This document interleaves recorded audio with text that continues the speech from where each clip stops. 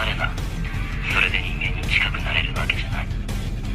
援軍を待つしか助けようと近づいた者を狙うトラップだよ。前にボロってやつが言ってたんだ。あいつらの計画のタイムリミットがなくなったも同然だとかって。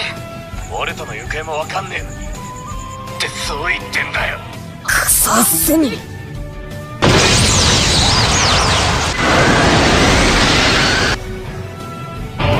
邪神教には回収してくれそうにね。金儲けが狙いじゃねえだろうな。まだ練習中だ。単なる仮説に過ぎねえが一体出すので精一杯さ。そんなんで坊主やると地獄へ落ちるぜ。あ あうまくいってよかったぜどいつもこいつも。我が身をいただくとしよう。生意気に意見するか。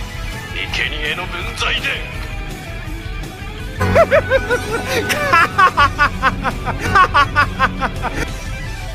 そうだ。結構頑張ってきたんだぜ。もう計画は諦めた方がいい。今頃心臓を奪うはずだった人たちは解放されている頃だよ。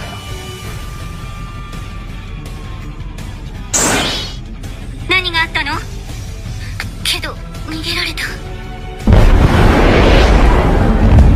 俺に復讐するのって。